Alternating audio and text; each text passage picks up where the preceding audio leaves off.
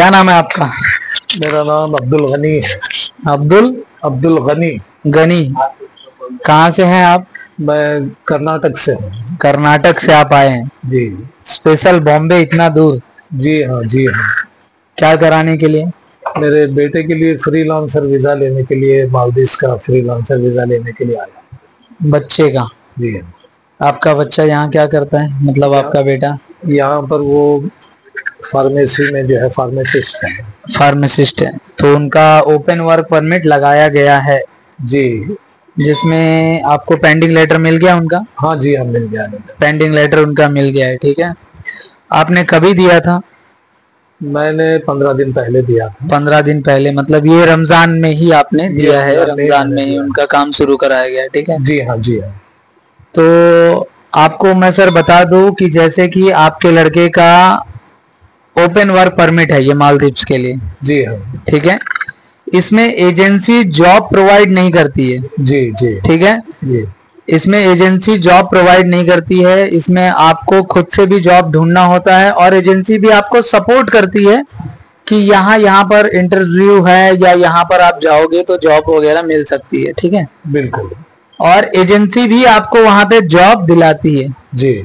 ठीक है? एजेंसी भी आपको वहाँ पे जॉब दिलाती है। जी हाँ। और सैलरी एक्सपेक्टेशन आपके लड़के की क्या है? ऑलमोस्ट वन थाउज़ेंड डॉलर जो है उसकी सैलरी एक्सपेक्टेशन एक्सपेक्टेशन वगैरह। मतलब इंडियन करेंसी में अगर हम लोग बात करें तो वो सैलरी साठ से सत्तर हज़ार के आसपास होगी जी। वो सैलरी आपके आ, सन ने एक्सपेक्टेशन किया है जी। कि मुझे इतना सैलरी मिलना चाहिए। जी। अगर मैं बाहर जा रहा हूँ तो। जी। मैं दो लफ्ज आपसे ये पूछना चाहूँगा कि आपके जो सन है आपके जो बेटे हैं उनकी यहाँ पे जो वो जो भी नौकरी कर रहे हैं जी। वो नौकरी में उनकी सैलरी कितनी है? वो दो नौकरी कर रहे हैं यहाँ पे। हाँ। यहाँ पे लेक्चरर भी है हाँ।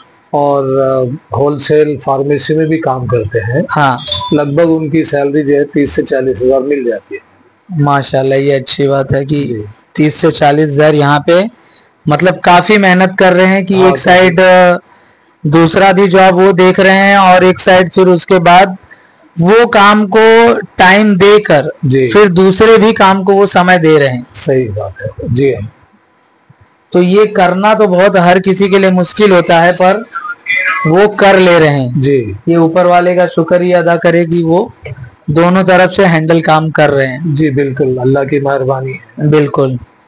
अभी जब ये मालदीव्स जब ओपन वीजे पे जाएँगे तो इनको कम से कम आप पकड़ के चलिएगा कि वन वीक तक वेट करना पड़ेगा। जी।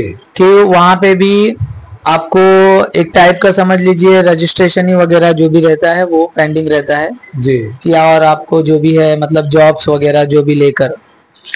और जब वहाँ पे जॉब अगर जब आपके सन को दिलाया जाएगा जी। जब आपके सन को जॉब वगैरह जब प्रोवाइड कर दिया जाएगा जी। तो मैं आपको बता दूँ कि जब उनको जॉब प्रोवाइड होने के बाद अगर उन्होंने एक कंपनी में दस दिन किया पाँच दिन किया दस दिन किया जी। उनकी सैलरी उनको ऑन द स्पॉट क्लियर हो जाएगी। अच्छा। ठीक है? जी। इसमें कोई भी बॉन्डिंग नहीं है अच्छा। कि आपको दो साल इसमें रुकना है मेरे पास। जी। कोई भी इसमें ऐसा बॉन्डिंग नहीं रहेगी कि नहीं आप यहाँ पे रुके एक तरीके का दो साल का जो कॉन्ट्रैक्ट पीरियड होता है जैसा वर्क परमिट होता है वैसा आपको रुकना नहीं है। जी अच्छा। आपने दस दिन अगर उनके फार्मेसी या केमिस्ट्री या शॉप वगैरह पे या उनके गोडाउन में अगर आपने किया तो आपके अगर दस दिन आप करके छोड़ दिए तो आपको दस दिन की आपको पेमेंट वो लेके क्लियर कर देंगे। गुड वेरी गुड ठीक है?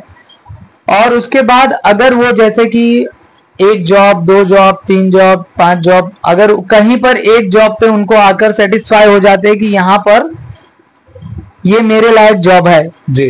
तो वो वहाँ पे आराम से जब तक का फ्रीलांसिंग दो साल का वर्क परमिट है जी। ओपन वर्क परमिट तब तक वो वहाँ पे रह सकते हैं। जी। और वो कभी भी जी।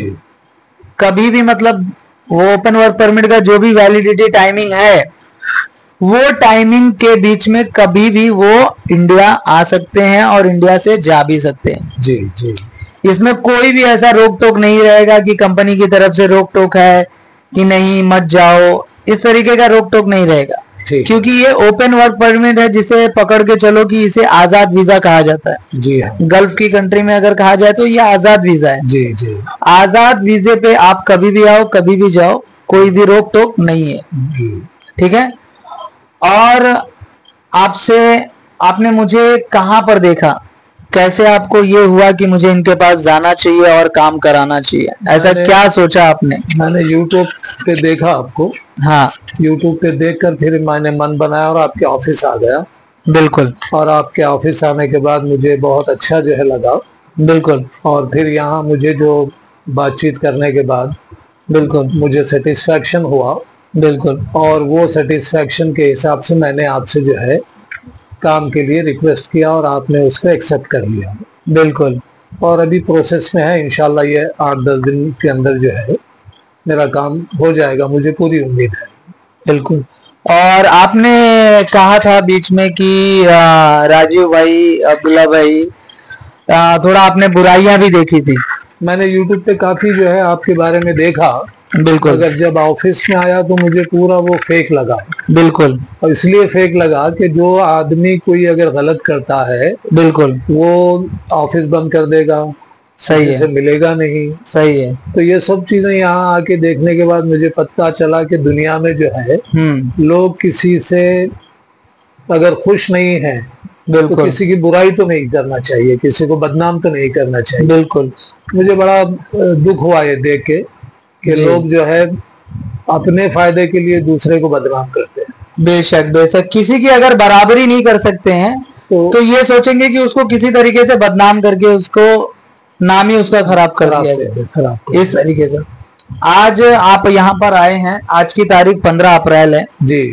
2024 अभी आपने आए तो अभी आपने देखा कि मेरे ऑफ़िस का स्टाफ